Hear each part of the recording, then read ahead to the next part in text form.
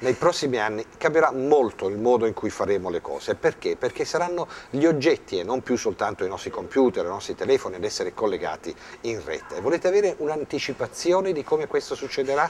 Ecco, guardate Violet e poi ne parliamo. Un francobollo sulla tazza del latte o su una cartolina da spedire agli amici e il vostro computer saprà sempre a che messaggio quell'oggetto è associato.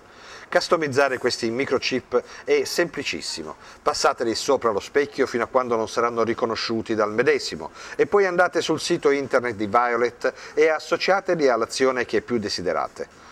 Potete aggiungere quante funzioni vi è utile e disporle nell'ordine che volete. Usate la vostra immaginazione per creare nuovi utilizzi. Registrate l'indirizzo dei destinatari delle vostre cartoline.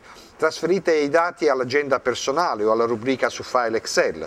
Connettete la vostra tazza del caffè con l'account di Facebook e magari permettete ai vostri figli di guardare i loro cartoni preferiti con un semplice oggetto sopra lo specchio. Questa applicazione è come un ponte fra il nostro computer o i nostri dispositivi portatili e Twitter, la televisione, i sensori, quello che vogliamo dire agli amici, quello che vogliamo far dire o far fare agli oggetti che avranno su questi francobolli.